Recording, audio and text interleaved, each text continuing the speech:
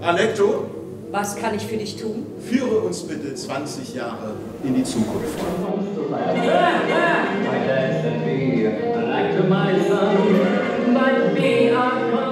Dr. Stefan Frank, haben Sie bereits einen Geburtszeitraum reserviert? Ja, ich würde gerne im Frühjahr 2043 gebären. Heiß, heiß, heiß, heiß, heiß, heiß, heiß, heiß. Hm. Verbindung hergestellt. Echt jetzt? Ja. Was ist eigentlich mit Ihrer Nase? Was ist damit? Würden Sie die gerne behalten? Mittwoch ist Nasentag. Am Mittwoch habe ich einen Termin beim Scheidungsanwalt angesetzt um 14.30 Uhr. Was? Wiederholen. Um 14.30 Uhr. Äh, nein! Das mit dem Anwalt. Sonst noch irgendjemand irgendwelche Neuigkeiten für mich? Jetzt nur es sagen.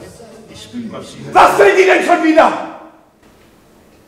Sie sagt, du könntest dich ein bisschen mehr zusammenreißen. Sie fühlt sich von der Arbeitsatmosphäre gestört. Hast du den Kühlschrank so eingestellt, dass er mit der Stimme meiner Mutter zu mir spricht? Soll sie vibrieren? Nein! Ich möchte das nicht ausnutzen, aber. Tatjana Hoffmann, ich wäre gern ein Implantat in dir. Warte, warte, warte, stopp, stopp, stopp, stopp, stopp, stopp, stopp, stopp. Kannst du bitte den Helm runternehmen? Kannst du mich bitte einfach küssen?